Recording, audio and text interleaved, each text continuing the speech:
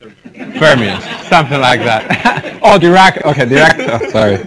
All right. It's a new type of uh, of uh, it's exotic particle with the T. Yeah. It protects us, you know. And, it is uh, uh, I- I- I, us. I think we didn't give it to you last time. So Oh, okay. Uh, oh, nice. it's- Oh, that's right, because now I'm not longer part of this one. Okay, great. Thank you. I never have one of these. Great. Thank you very much. Um, wonderful to be back uh, to the nice Texas weather um, with many, many friends. Uh, and this is actually a story that I wanted to tell you that uh, two years ago I actually gave a colloquium here as well with a quick prediction that we just had made at that time. Um, we didn't realize it was going to be so bigly, like they like our president like to say.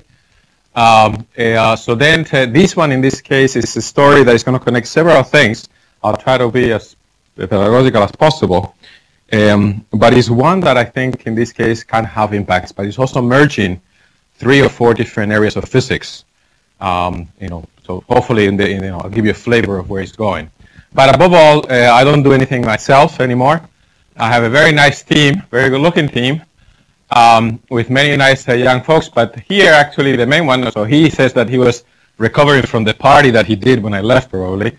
Uh, but he comes often enough, so essentially this is the work done primarily by four uh, team members, uh, visitor, permanent, almost permanent visitor in the, in the summers in Mainz, as well as a fantastic student, uh, Libor Smejkal, uh, and also some of you guys know J- Jacob Giles, uh, and also another fantastic uh, researcher of in our team, uh, Helen uh, Gomonay. Uh, so the, the story is going to be, I'm going to give a quick introduction, and I'm going to tell you a little bit about a thing called spin orbit torques, things that are utilized nowadays in the next generation of MRAM technology to move and manipulate uh, uh, magnetic uh, memories, and how they came about, and how they were actually linked to spin Hall effect. And you guys should be linked a little bit to spin Hall effect, which is was generated and predicted here, the first year that I was here in Texas A&M. Um, and this actually has had quite a few repercussions to lead into these type of things. And learning from this has given us a leap into this uh, dormant giant of materials that were not exploited before, which are now going to be going to be exploited. Uh, antiferromagnetic spintronics on how to manipulate them electrically and make devices out of them. And then the last part, which is the one that is the exciting part and the latest one, is how you're going to combine all of these things with topological physics, Néel spin orbit torque, and antiferromagnets all together in a nice uh, gift wrap. So we start always in condensed matter physics uh, with electron. It has two personalities to it, the spin and the charge, and those two parts of the personality of the electron are utilized, for the most part, is still separate within uh, the technology. Uh, the transistors are using, of course, the charge itself, uh, which is utilized to, to manipulate the, the data, uh, and the spins through ferromagnetism primarily through the magnet, is the one responsible for the storing of information.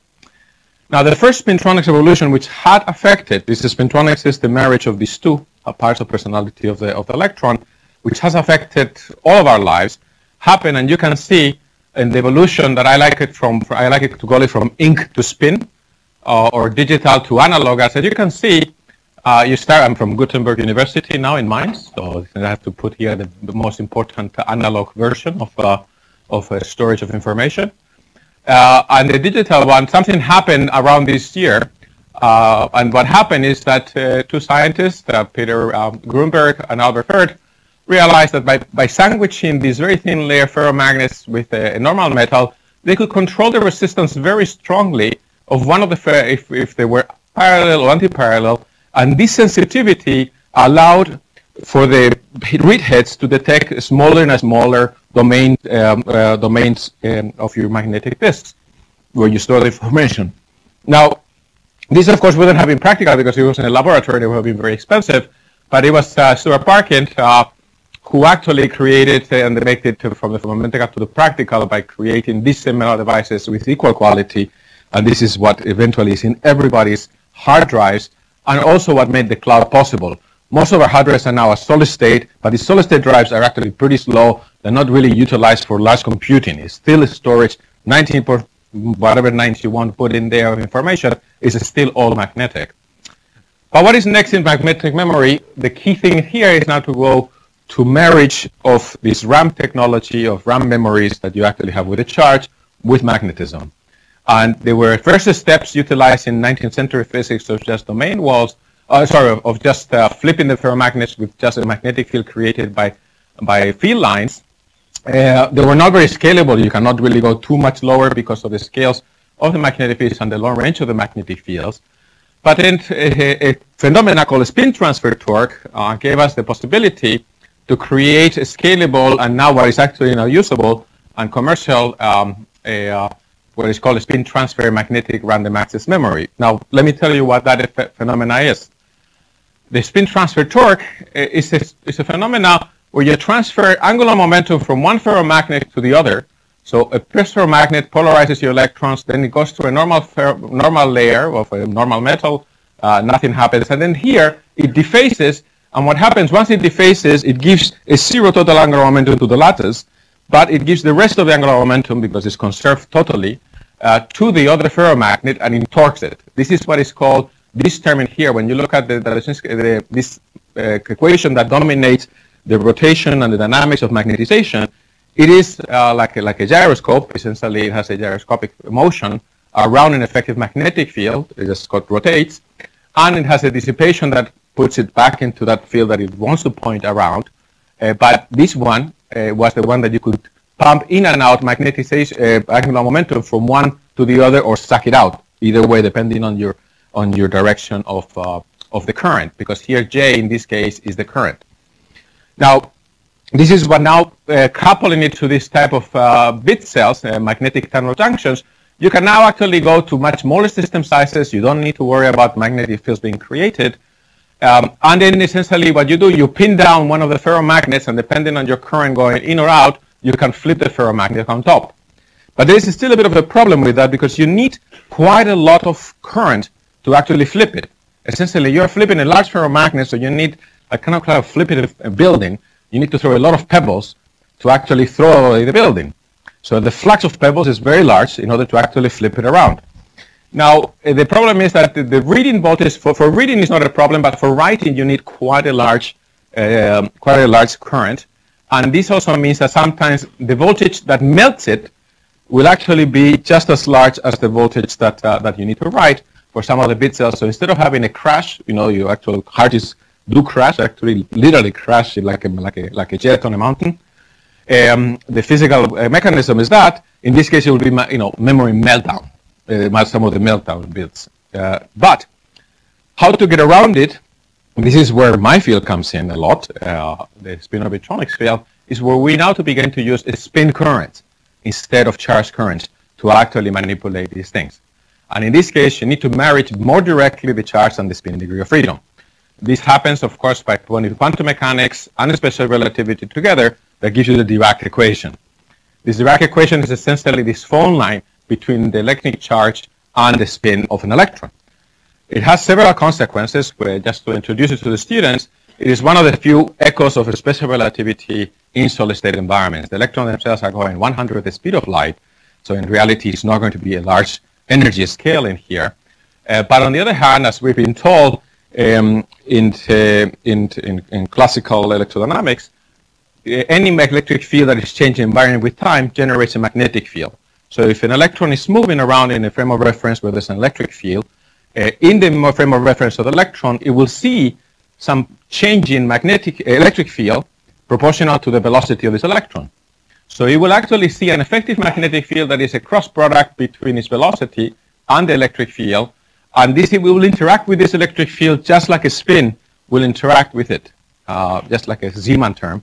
So it will precess about it. It will have several consequences. Your spin no longer is just the degree of freedom of multiply by 2. Now you actually will have a preferred axis of direction. If you're moving to the right and your electric field is in this direction, your effective magnetic field is this one, and then you will have a you know in the uh, eigenstate in that direction or the other. But if you inject an electron that is not lined up with this effective magnetic field, what happens is that you start precessing. Okay, you've seen this before for some of my talks before. It also has another important consequence. It's called the Mott scattering, and it's actually interesting that this was the first test of the Dirac equation. And it's actually, this Mott scattering happens to be how you actually polarize electrons in these large colliders. Uh, if you have an impurity here, essentially if you have a spins uh, up or down, it will have an asymmetry on how it will scatter one way or the other. This is called the Mott scattering. Now, how is that coming together is to create this thing of a spin orbitronics where you now begin to couple this spin and orbital degree of freedom together to give you new phenomena. Phenomena that is not only characterized for it, but originates from it. Uh, one of them is the story today is going to be about going from the spin Hall effect of how this actually has given out the spin orbit torques that now are actually going to be practical and go around this problem of meltdown to now new materials, a spin antiferromagnetic spin of electronics. and now the last step of it will be just to make the, the whole network uh, to connect it to topology. And there's new degrees of freedom and essentially doing high energy physics uh, at the solid state level. So the first thing is the spin Hall effect. Uh, some of you already know it. Uh, some of you may not be familiar with it. If you think about this uh, symmetric of spin ups going to one side and spin downs going to the other, if you have impurities in the in the material, in the paramagnetic material, uh, with some symmetries being broken, you will end up having a spin current uh, that is actually perpendicular to the motion of the electrons as you run a current. Uh, so this spin current was predicted, uh, it is intrinsic one and extrinsic one was predicted different times and then directly observed almost immediately after our prediction uh, a year later. But this one generates essentially a spin current perpendicular to a charge current. It's a spin current generator or an angular momentum generator. I want to explain to you a little bit how it works, particularly the intrinsic one, which is the one utilized nowadays because it's the strongest one. Uh, and it's easy to see it in a, in a system that is two dimensional. So here I'm plotting just an electron in a two dimensional with the momentum just within this circle. This is the Fermi, uh, the Fermi uh, vector, wave vector, and a spin-orbit coupling that po points the effective magnetic field perpendicular um, to the momentum. Okay, so you can imagine that the electric field is pointing in the z direction. What means is that if uh, in equilibrium they're standing like this, and as you accelerate an electron, so you push this electron, as it changes its momentum, it will change effectively its effective magnetic field perpendicular to this effective change in momentum, and that will make it precess, just like I showed here. Okay, and then that creates, if you see this, you have a spin down moving to the right and a spin up moving to the left. So that creates a spin current going from here to there. Okay, not a charge current. So the charge current would be actually zero. Uh, you would actually have a spin current. This is why it's intrinsic. It's intrinsic because it involves the coherent um, uh, rotation of an electron, which requires a coherence between two states in order to have this precession. And it happens in between collisions. But at the same time that that happens, one thing that we shouldn't forget, and we actually utilize this in the first experiment that we observed is, you also have a, a production of polarization, not a spin current, but net polarization in your system due to similar symmetries. And this one comes from slightly different reasons, is that here if you have your electron in equilibrium and you run a current, what you're also doing is, is populating more electrons that were here to that side. That way you have a net current going to the right of electrons. Okay. Uh, but then now you can also count as well, you know, before you had non-net polarization, but once you actually do this redistribution of polarization of, of the electrons in, in around the Fermi uh, distribution function, you end up with a net polarization on the plane. And both of them happened in the spin Hall effect experiment where we first observed this, this intrinsic spin Hall effect in two-dimensional gases, the bottom one shows you the up and down uh, spin current of the of the uh, spin Hall effect, and this one is a test of showing this Edelstein effect, or sometimes called inverse Pilger-Weill effect. Uh, the two of them are important for the following reason. Remember what I told you about uh, this melting down. Okay, here you're transferring angular momentum from this ferromagnet to this other ferromagnet, and if you run too much current, because you're going through what's called a metal terminal junction, the most resistive part of your element, you end up melting. You know, I square R. R is very large. On the other hand, if you were able to manage to split this ferromagnet by running a current through the metal, because your resistance now is a metallic, much, much lower, you would never have a problem of meltdown. The question is how to do that.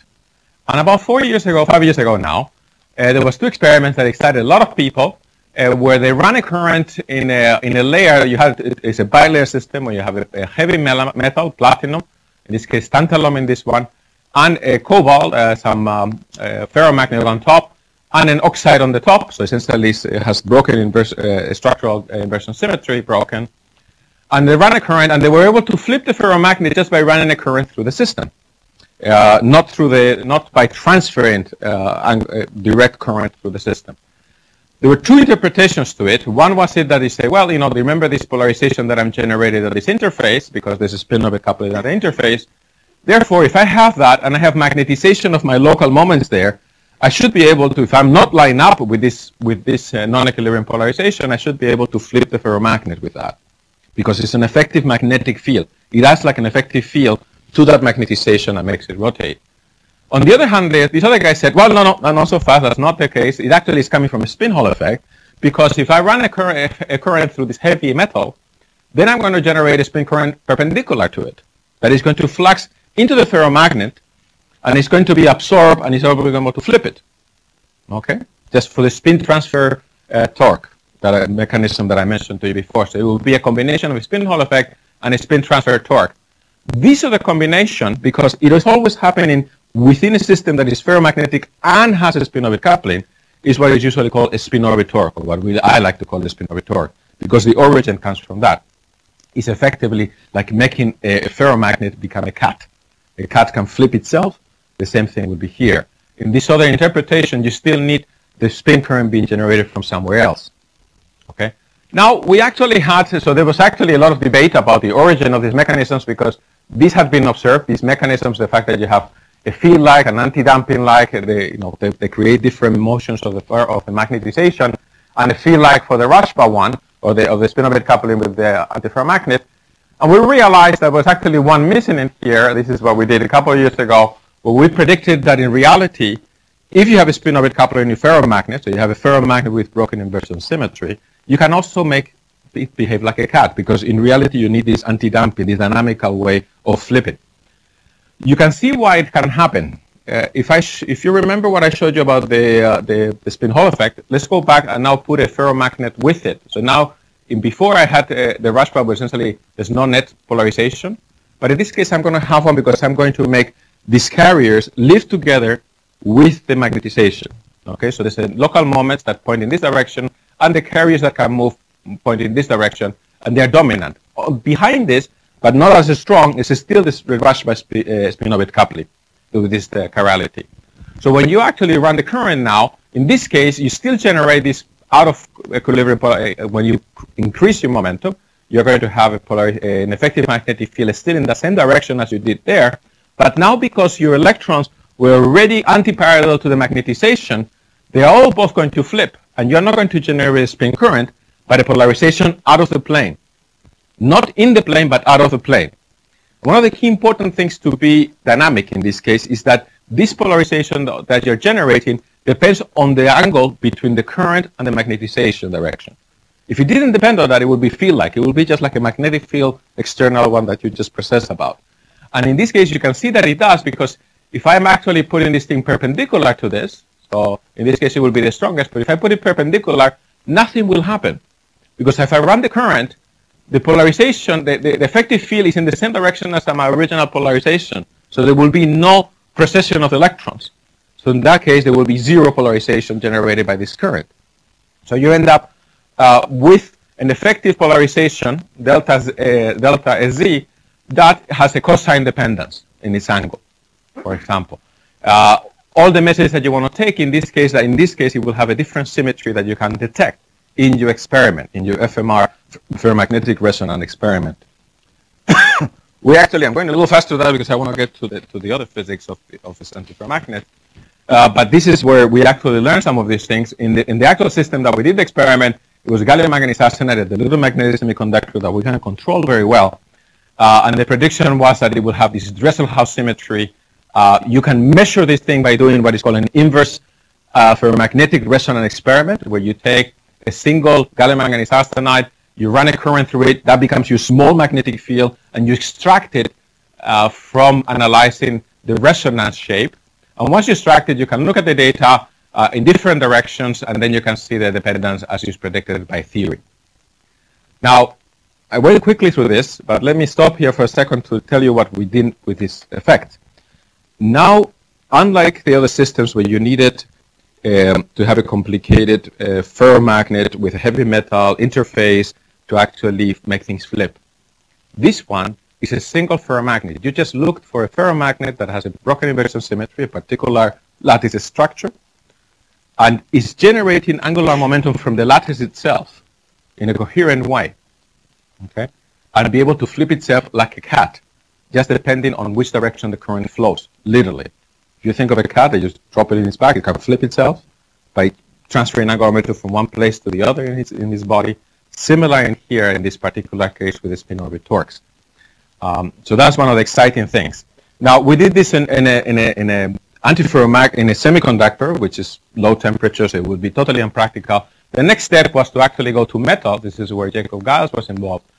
And he predicted in this case with his calculations that nickel, manganese, antimonide will have a particular dependence of this field, and they were observed recently and published last year in Nature Physics uh, by our collaborators, experimental collaborators, uh, Ciccarelli et al. Uh, so now the nice thing is now it's in metals, and you can actually make this practical in a particular uh, device.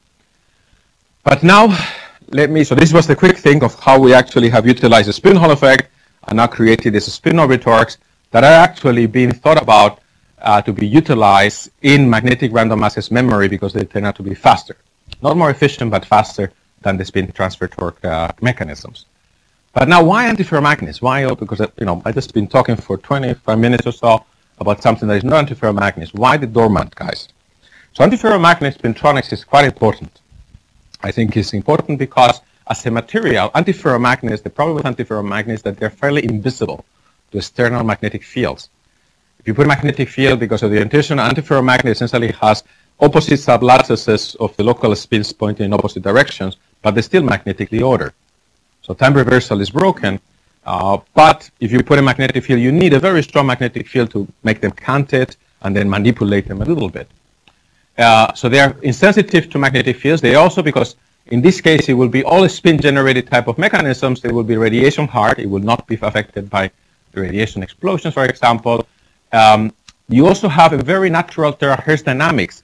So here you actually can able to couple directly at the terahertz range, optical range, and be able to actually have what is called the terahertz gap between about 0.3 and 3 terahertz. We actually have no way to communicate between electronics and optics, uh, which is a big, big problem. And this one would be the natural material to do so. And actually, we just have some experiments. Uh, they have uh, colleagues of ours, Thomas Jungwirth, which is my longtime collaborator, has actually some fantastic results on that end. Uh, on the other hand, it will have a very, uh, it's, it's, a, it's, a, tunable, uh, multiple stable magnetic state logic, and most important of all, there's more materials. You may not realize, but all of you are paying about 10 bucks a year. Every single one in this earth is paying 10 bucks a year to the actual storage industry on ferromagnets on about four materials. Because not many materials are ferromagnets or practical ferromagnets that you can use. Most materials don't want to be ferromagnets. They're, if you lower the temperature, it's going to be a superconductor, maybe most of the time antiferromagnet, but definitely not so much ferromagnet. So there's a lot more range of materials to use. But in my field is spin-orbitronics, so I want to do antiferromagnetic spin-orbitronics now. And I'm going to exploit what we just actually did, which was uh, this idea of a spin-orbit torques that, that you're essentially flipping the, the ferromagnet by itself by generating this, this non-equilibrium polarization, but apply this to antiferromagnets. And how am I going to do that? So you got this, uh, uh, probably I'm going very, very quickly. I'm sorry, I just give you probably a flavor of these things. Um, in this case, if you run a current, you create this non-equilibrium polarization in a ferromagnet, that you, and if you're not lined up with this direction of the, the magnetization, it's not lined up with this, it will be able to flip it. We were able to do this in the ferromagnet gallium manganese arsenide. But we realized one aspect that is important, which is to notice that um, if you have a centrosymmetric system that has that the spin orbit coupling itself is a very local thing. It, it comes from the core electrons deep inside of the atoms. And now, if you have uh, two sublattices systems that are coupled together that have inversion symmetry, you need inversion symmetry to have this thing be non-zero. What will translate to is the fact that if you have these two partners, this is a, lattice structure where it is centrosymmetric overall, but if you look at this sublattice and this sublattice, these gold atoms in a different spot as this one, you see, that's up top, that's on the bottom. So the two are coupled together, and that translates to the fact that locally within a unit cell, they have different spin textures. Equilibrium spin textures due to spin orbit coupling. this is changing within the unit cell, which is too fast for anything that we can actually physically measure for normal probes, external probes. Okay. But on the other hand, the prediction would be that if you run a current through this IMS, this is, would be the equilibrium texture of one sublattice and the other sublattice. Okay. Uh, so the, this, this, this blue and red uh, and purple, sorry. But if you, because they have this structure of this Rashba that I've mentioned to you with the symmetry, if you run a current through the system, the prediction will be that you actually have opposite non-equilibrium polarization generated in opposite sublattices. And here was the deal, that yes, we don't have the actual probes to look at this change of, uh, of a spin polarization in that scale, except that nature gave it to us. That is the antiferromagnet itself because the antiferromagnet has opposite spins in opposite sublattices coming from different parts of the spins. These are the carriers. The other spins will be the local spins that you can couple to, and you effectively are creating different anisotropies. If you run a current through the system, the anisotropy will want to point that way instead of that way. Okay, just by running a current through it. This was the prediction, and we actually did the calculation on a particular system. It was called manganese to gold, uh, but it also happens to be for copper manganese arsenide.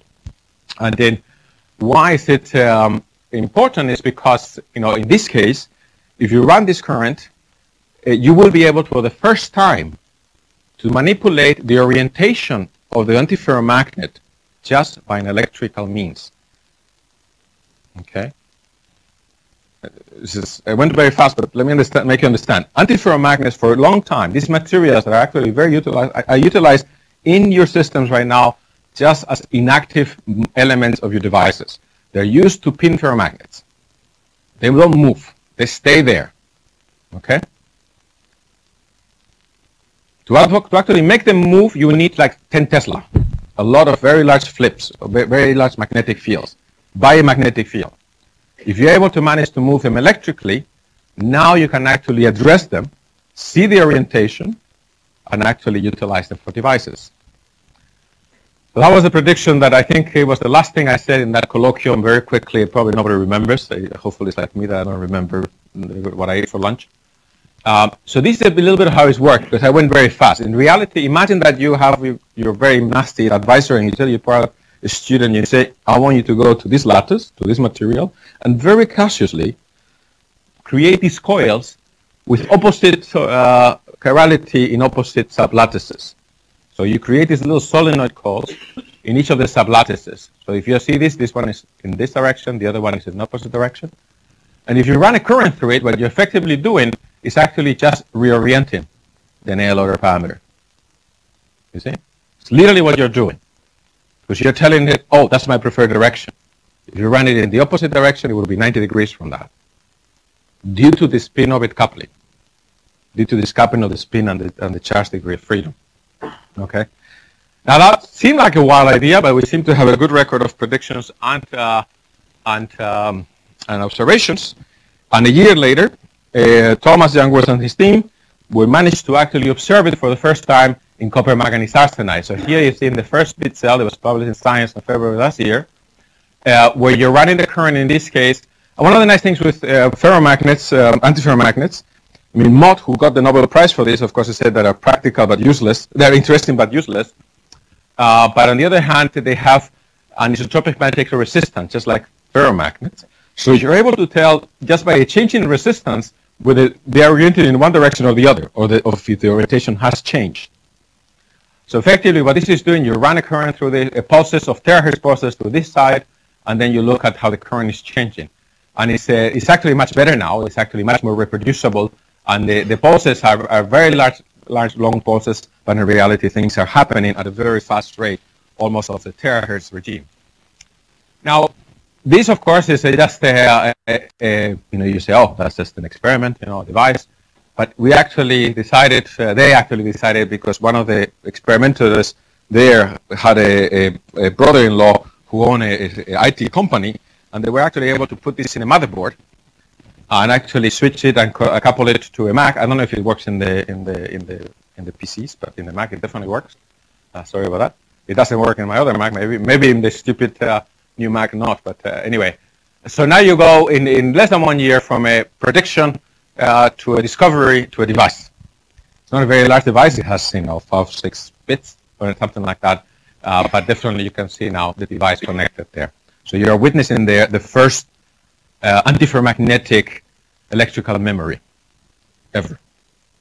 You should remember this today. You can tell your grandkids when you say, you know, this antiferromagnetic memory that you have everywhere now, I saw for the first time in a colloquium at Texas A&M. Please remember that. Give me credit for that, okay? That's the only thing I, I ask of you. Now, okay, so that's been fun. You know, we predicted, we got this new device, uh, but, but, you know, we're still not there um, because, uh, you know, you have these Dirac fermions and these topological things that you've been hearing about. You have a Nobel Prize recently for it, uh, as well as our field that I've been talking about, spin Hall effect, spin orbit torque, Néel spin orbit torques. It actually started about the same time, 2003, 2004, uh, with graphene, the discovery of graphene, but they've been developed rather independently, which is amazing that they've been actually going fairly independently. And uh, the idea, and particularly this is the idea of this fantastic student, uh, uh, Libor uh, is, is one of the brightest students I've ever witnessed and had the pleasure to work with. Um, and he said, you know, you know, Thomas is actually Thomas' younger student. He now is staying with us because it's a lot more fun and his girlfriend is nearby. So that's the advantage. Uh, and, you know, how about if we marry the two? What would happen? You know, can we do this? Can we actually, you know, we've seen the LS spin orbit torques and all these things. We've seen topological physics. Uh, you know, can we couple them together somehow uh, and then control them? The answer, of course, is yes, at least in our predictions. Um, now, in relativistic physics, topological spin spintronic effects, you've seen the fact that you know these relativistic quasi-particles. You have these two types that that you know uh, has been teaching me about: the Dirac fermions and the Weyl fermions. Uh, they're slightly different, uh, the two. Uh, but now they're actually in graphene itself, which was discovered uh, uh, for the first time in 2004, or, or created for the first time in 2004. you actually have a representation of these Dirac quasi-particles in a solid state environment. So you don't really need all these big accelerators or anything like that. Where's, where's Alexi? You know, oh, he's not here. Okay. Uh, I should have said that because I'm staying in his house.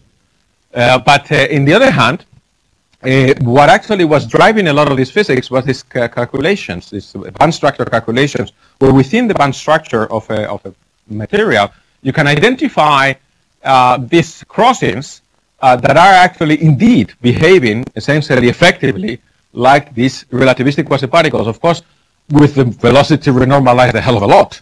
Okay, it's not going at the speed of light at all. Okay, but it's still behaving exactly the same way. But they were primarily experimentally observed through photoemission, just looking at the band structure with photoemission, not as a direct effect, or you could control them at all in any way. Uh, and then so you have the two types, as I said. Uh, this is the, the Dirac and the Weyl. Uh, the Weyl living in three dimensions, and then you know here all you got to take the message is that you know they, they have very complicated arrangements of the electrons, but you end up with very exotic things like these nodal uh, lines and uh, not only not, not, only Dirac points but also nodal lines, etc. Uh, that need to be studied what the effects of them will be at a particular stage. But the key thing is, okay, now you have observed them. Can you control them and marry the things together? The answer for the antiferromagnet is yes, of course. Um, uh, and then the key thing is the following. Here I have in the right the uh, antiferromagnetic spintronics and on the left the topological physics. Uh, since, you know, it has four Nobel Prizes in between them, so it's not too bad. Now, but they're separated. And then what it means is that uh, why antiferromagnets are important is because they have an overlap of two symmetries. Okay? Uh, if you have two sides per unit cell, you end up with these band crossings, which is what happens uh, in graphene in this case, uh, that can give you these stable uh, Dirac points. But also here, uh, you, have, you have uh, parity, inversion symmetry, and time reversal symmetry broken, but PT is conserved, you also can have these things being at the same place at the same time. Okay? So these two things are shared. So both the fact that you have two sublattices and they have PT symmetry for both, allowing you for, in this case, uh, this, this, this parity broken, in this case, uh, uh, gives you uh, the, the spin orbit torque. Okay. Now, if you do the calculation, you can actually do a simple model uh, that gives you this effective Hamiltonian, where here, what I'm trying to plot in here is the energy of these crossing points. So you know, they think, look at me in this line, in the line of zero, where you see a bunch of crossing points, a lot of crosses in here, more or less. but these crosses depend on the orientation. This n is the Néel order parameter of this, the direction of the antiferromagnet, of where it points. And you can see that it's opening and closing. So this one in this particular orientation will be there, but if I have it in a different orientation, it will open up. Okay, if you have it in the in this direction in the 45 degree angle, it will open up, and this one will go there, for example. You, no, because in this case, a symmetry, this has a, um, a, a non-symmetric symmetry that protects it in this case. So there's actually a symmetry uh, that has to protect it. In this case, um, I didn't want to go into that, but uh, in this case, if, if there was no symmetry protecting you, you will uh, repel. But in this case, you have a non-symmetric symmetry, which in this case has to do with uh, a non-symmetric means that you do a translation plus a point group operation um, that protects you in this case. Now, of course, this is for a simple model uh, that you can cook up directly of what would allow you to have it, uh, where essentially in this effective Hamiltonian, you're allowed to have both. You have an antiferromagnetic order parameter, and you have both these quasi-particles, these Dirac fermions uh, and Weyl fermions, and, uh, and the uh, spin-orbit torques. But it also happens in copper manganese arsenide. Okay, and then the calculation here is done in copper manganese arsenide in a tetrahedral and an orthorhombic format. And the orthorhombic is quite interesting. Uh, it's just how the structure looks like. It's quite interesting because it's a semi-metal. Essentially, the crossings are happening close to the Fermi surface. And not only that, you can control the direction of them. So essentially, you can control whether they actually gapped or not, just as uh, Valerie just was pointing out. Um, you will have this opening and closing of the gaps depending if you're protected at those particular points, depending on the direction of the order parameter. Because that symmetry, that non-symmetric symmetry, depends on which direction your spins point. Okay, so if you point them in different directions, it will actually be, be uh, you know, uh, obeyed or not obeyed. Uh, it will be conserved or not conserved. And you can see this, for example, if you have the 1, 0, 0 direction and the 1, 1, 1 direction, whether it opens or closes. And these are calculations done with the spin-orbit couplet included in it. Um, yeah, uh, looks unhappy, but that's okay. Uh, now, he always looks unhappy. Uh, now, in this case, uh, so the, the, one of the nice things that we've been, we've been discovering with this is that now, of course, in this particular one, this is actually the one that we actually, um, uh, that, that they actually observe the spin orbit torque. So in this particular case, you would be able, by current, orient the ferromagnets. In this one, unfortunately, is not where they have shown the spin orbit, the Néel spin orbit torques to exist. So we don't know if it will work or not, basically, in terms of experiment. Uh, and here, of course, because the crossings don't happen very close to the Fermi surface, the consequences of this opening up or not is not so clear. But this gives you a room, if you believe that in the, in the orthorhombic case you would actually have this effect, we now, by controlling with the current, the Néel order parameter, so now you have antiferromagnetic spin uh, uh, spintronics with Néel spin orbit torques. You can control the direction of your Néel order parameter, or the, or the, the, the, the stagger fields, and open and close the gaps. Okay, so you end up with the ultimate uh, anisotropic magnetoresistance, if you think about it. Because if you happen to be in the rhombic where, you, where the crossing is the, in the Fermi surface, or close to the Fermi surface, if you open the gap, you become an insulator. If you close it, you know, if you close it, they become a metal, or close to a metal.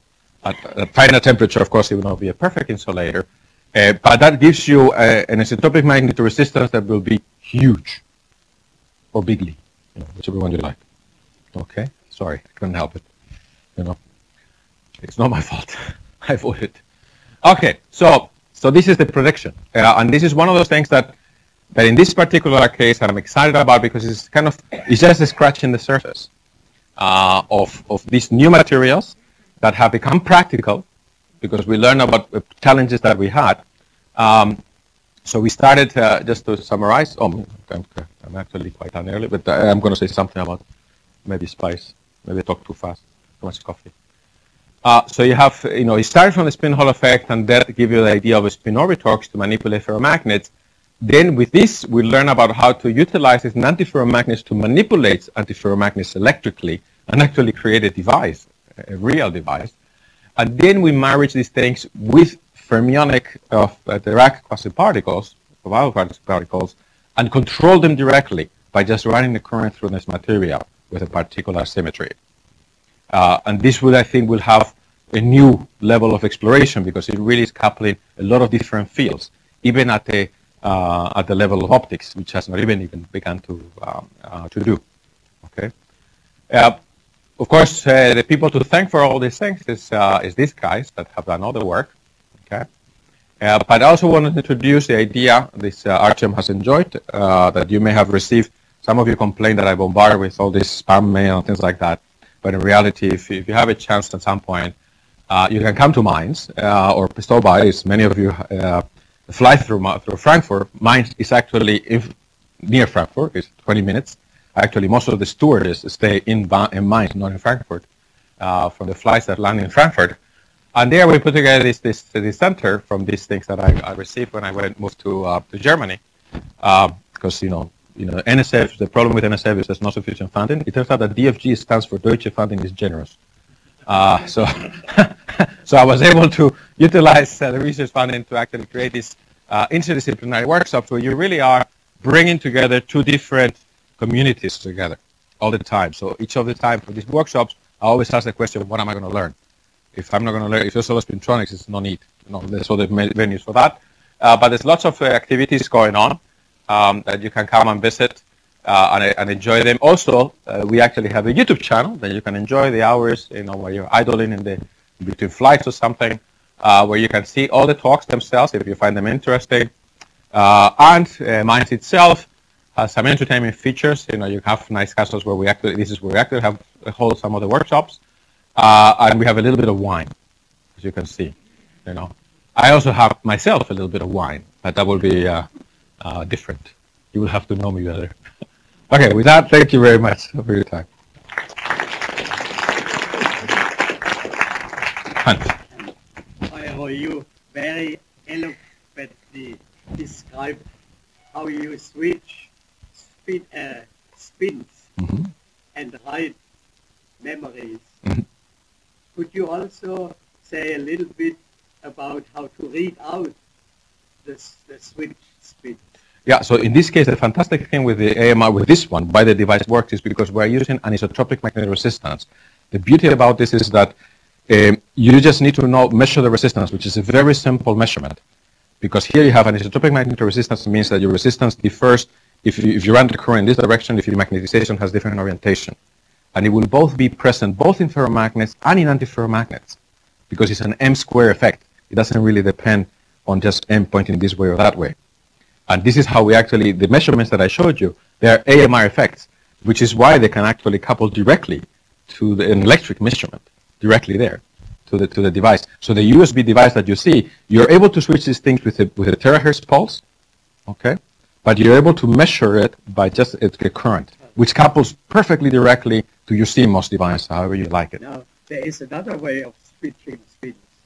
You can put a microwave field in mm-hmm. and switch them around. Would the current change then? Well, but uh, this is, uh, I didn't say that, but uh, the, the, the actual uh, spin orbit torques that I showed you, these FMR essentially are at, at uh, microwave fields running through the material. So you're creating a ferromagnetic resonance at those microwaves within the material.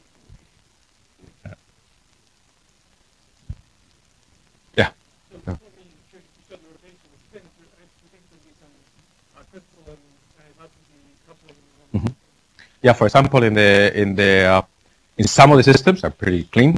Uh, they can be depending on how, of course, they are small devices. Um, in the um, we actually have uh, we also there's also more data about XMLD where you can actually see the, the size of the domains. In the first experiments in the science paper, it was actually some creeping. So essentially, you're running these pulses and you're essentially reorienting different uh, domains. Okay, so there was some creeping in the domains. In the latest versions, uh, because they are grown on a different material, much more applicable towards CMOS. Uh, I cannot say what it is, but uh, that one itself has almost no in-plane anisotropy, so the flipping is very quick and very easy, and they have very large domains, also like micrometers domains. which is pretty exciting, yeah. which is rare because antiferromagnets typically have smaller domains.